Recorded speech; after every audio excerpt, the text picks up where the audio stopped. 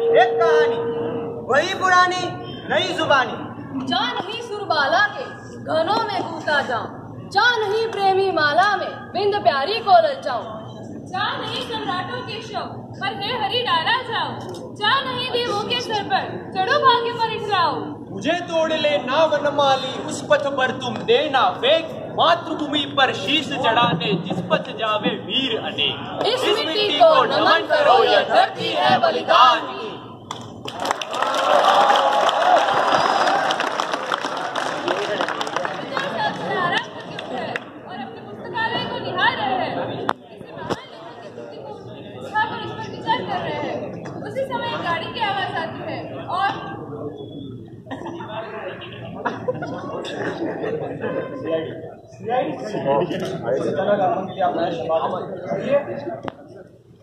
देखिए जरा बताइए तो। आप पहचानते इसे? हाँ पहचानता तो हूँ। मुझे इसके बारे में आपसे कुछ पूछना है। पूछिए। इसका नाम क्या है? इसका नाम लाल है। यह तो सिर्फ़ इसका पुकाने का नाम? इसका एक और नाम जो मुझे नहीं पता। रहता है हमारे बंगले के ठीक सामने एक दो मंजिला कच्चा पक्का घर है। वहाँ पर यह और उसकी बुढ़ी माँ रहते हैं। बुढ़ी बुढ़ी का नाम क्या है? जान। ये दोनों ही एक है इसके परिवार में? इन दोनों का पालन पोषण कौन करता है? यही कुछ सात आठ वर्ष पहले इसके पिता का देहांत हो गया था। इनके परिवार में सिर्फ़ यह दो ही बच्चे रहे। इनका नाम उनका नाम रामनाथ था। क्षमा कीजिए। क्या मैं आपसे पूछ सकता हूँ कि आप इतने सवाल क्यों कर रहे हैं? नहीं ये तो आप कुछ ये तो मैं आपको नहीं बता सकता। इतना आप समझ लीजिए ये सरकारी काम है। इसलिए मैंने आपको कुछ की तकलीफ़ दी। हाँ जी इसमें तकलीफ़ की क्या बात है? यह तो हमारा धर्म है। और कुछ हो तो बताइए। एक बात और। मैं मित्रता से आपसे निवेदन करता हूँ कि आप इस परिवार से जरा सावधान और दूर रहे इससे अधिक मुझे आपसे कुछ नहीं अब दोनों चले जाते हैं। फिर किसी एक दिन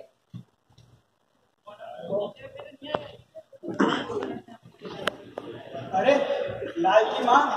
लाल की माँ। लाल आजकल क्या रहा है? क्या कर रहा हूँ वो क्या करता है? पर मैं तो इसे कोई गलत काम करते हुए नहीं देखी। अगर वो कुछ कर नहीं रहा तो सरकार उसके पीछे क्यों पड़ी है? ज़रूर वो कुछ ना कुछ करता होगा। यहाँ है? चल तो। वहाँ मेरे सारे जल्दी से हमें कुछ जलपान करा दे फिर हम घूमने अरे तो आ गया ना। मगर क्या देखो मेरे चाचा जी मेरे खिलाफ क्या शिकायत लेके आए तो आजकल क्या बातें सुना करता है बेटा? क्या हुआ? मैं तुमसे नाराज़ हूँ। क्यों चाचा? तुम बहुत बुरे होके जा रहे हो। जो सरकार के खिलाफ षड्यंत्र करने वालों के साथी हो। हाँ तुम हो। देखो लाल की माँ, इसके चेहरे का कैसे टूट गया? यह सोच कर कि यह खबर मुझे कैसे मिली आप गलत सुनाना चाहते हैं। हाँ। मेरे विचार स्वतंत्र अवश्य है। मैं ज़रूरत, बेजरूरत, जिस जिस के आगे उबल उठता हूँ, उबल उठता हूँ इस पराधीनता पर, उबल उठता हूँ इस पशु विषय परतंत्र का। तुम्हारी बात सही तुम षड्यंत्र में नहीं विद्रोह में नहीं पर यह बकबक क्यों? इससे फ़ायदा, तुम्हारी इस बकबक से ना तो देश की दुर्दशा दूर होगी, और न ही उसकी पराधीनता। तुम्हारा काम पटना है। पढ़ो इसके बाद कर्म करना होगा देश और अपने परिवार की रक्षा करनी होगी। जी। इस विषय में मैं आपसे कोई विवाद नहीं करना चाहूँगा तुम्हें विवाद करना होगा। मैं चाचा जी नहीं बल्कि उससे भी बढ़कर हूँ? जब भी मैं तुम्हें देखता हूँ मेरी आँखों के सामने तुम्हारी बूढ़ी माँ और तुम्हारे पिताजी आ जाते हैं। यह मैं तुम्हें ऐसे देहात नहीं छोड़ सकता। इस पराधीनता के विवाद में चाचा जी मैं और आप आप कट्टर राजपूत और मैं कट्टर राजपूत आप पहली बात को उचित समझते हैं कुछ कारण मैं दूसरी अन्य कारण आप अपना पद छोड़ नहीं सकते अपनी प्यारी कल्पनाओं की मैं अपना नहीं छोड़ तुम्हारी कल्पना है क्या है? जरा मैं भी तो सुनू जरा मैं भी तो जान लूँ कि आजकल के लड़के कॉलेज के गेट तक पहुँच पढ़ते कैसे सपने देखते हैं? जरा मैं भी तो सुनूं। मेरी कल्पना यह है कि जो भी व्यक्ति समाज या राष्ट्र के नाश के बारे में सोचता हो उसका सर्वनाश हो जाए। अरे तो जमकर अपने चाचा से झगड़ने लगा। वहाँ चार बच्चे बेचारे खड़े होंगे। लड़ मैं जाते भैया समझा दीजिएगा मैं खुद कुछ नहीं सम, समझती मैं इसे क्या समझाऊँगी? चाचा जो कह रहे मान जा बेटा मैं तेरे भले ही के लिए करूँगी अब जानकी चली जाती है। मेरी कल्पना यह है कि ऐसे व्यक्ति नाशक राष्ट्र के सर्वनाश में मेरा भी हाथ तुम्हारे हाथ दुर्बल है। तुम जिनसे पंगा लेने जा रहे हो चरमर हो उठोगे नष्ट हो जाओगे चाचा जी नष्ट हो जाना तो यहाँ का नियम जो सवरा है वह बिगड़ेगा हमें दुर्बलता के डर से अपना कार्य नहीं रोकना चाहिए। कार्य कार्य करने के समय हमारी बुझाएँ दुर्बल नहीं भगवान की सहस्त्र बुझाओं की संख्या तो तुम क्या करना चाहते हो? जो भी मुझसे हो सकेगा करूँगा। षड्यंत्र हाँ। अवश्य। विद्रोह। सर्वोत्परी तो ज़रूर। हत्या। हाँ हाँ हाँ।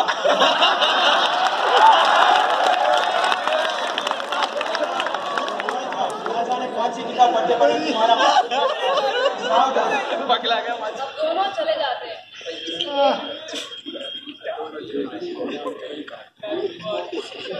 माँ इसके लड़के आते हैं? तुम्हारे कपल आपके साथ मैं क्या जानूँगा मगर वे सभी लड़के मेरे लाल की जैसे मुझे प्यार हैं। सब लापरवाह। वो इतने हँसते गाते वो हल्ला मचाते हैं कि मैं मुक्त हो जाता हूँ। वो कैसी बातें करते हैं? कुछ समझ पाती हो? बाबू सारे लाल ही को बैठक में। कभी कभी मैं जब मैं उन्हें खिलाने पिलाने जाती हूँ तब मैं बड़े ही प्रेम से मुझे माँ बुलाते। तब मुझे बहुत गर्व महसूस होता है। मानो कि वे मेरे ही बच्चे हैं। उनमें से एक लड़का है बहुत ही हंसमुख बहुत तगड़ा और बड़ी दिखता है। लाल कहता है कि वो डंडा लड़ने में, दौड़ने में, घुसेबाजी में, खाने में और हो हो हा हा करने में समूचे कॉलेज में फ़र्स्ट है। एक दिन जब मैं लाल के दोस्तों को हलवा परोस रहे थे, तब वो लड़का मेरे पास आया और मेरे मुँह की तरफ़ देखकर कहा कि,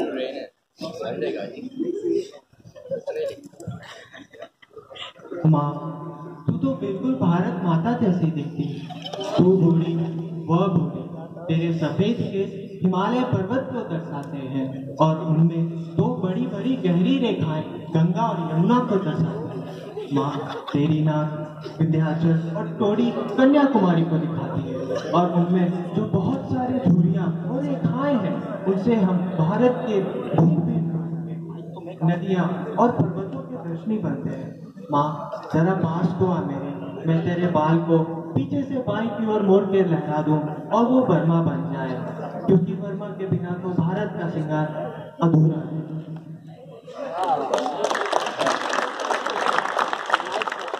बाबू ऐसा ठीक लड़का बाकी सारे बच्चे खेलते रहे हँसते रहे और ये लड़का आके मेरे बालों को पकड़ अपना बर्मा तैयार कर।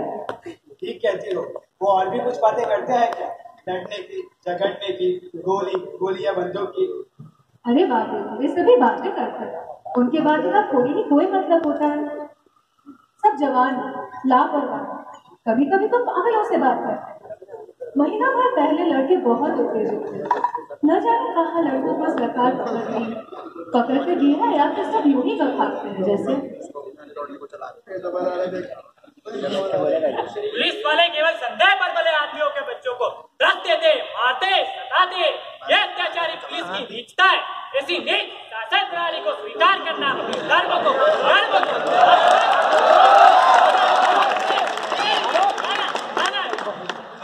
ये परदेसी कौन लगते हैं हमारे? जो बस राजभक्ति बनाए रखने के लिए अपनी छाती पर तोप का मुँह लगाए अरे और खड़े उफ, इस देश के लोगों के हिये की आँखें मूंद गई। तभी तो इतने जुल्मों पर भी आदमी आदमी से रहता है। ये लोग अपने शरीर की रक्षा के लिए अपनी अपनी आत्मा की चिता संवारते फिरते हैं। नाश हो इस परतंत्रवाद का। लोग ज्ञान न पा सके इसलिए सरकार ने हमारे ज्ञान से है लोग स्वाधीन न हो सके इसलिए पाँच जनों को है। इसी मतलब कानून करे गरीबों को चूस कर सेना के नाम पर पले हुए पशुओं को शराब से कबाब से मोटा ताज़ा रखती है सरकार। धीरे धीरे जो भी तरह हमारा धर्म प्राण और धन की डाले चली आ रही यह शासन बना है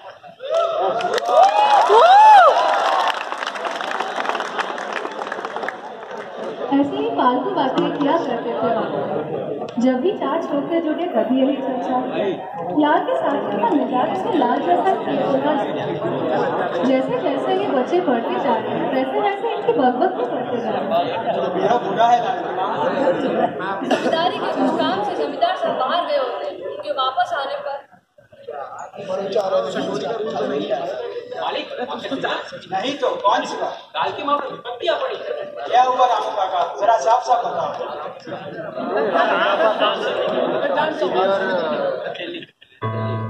बताओ.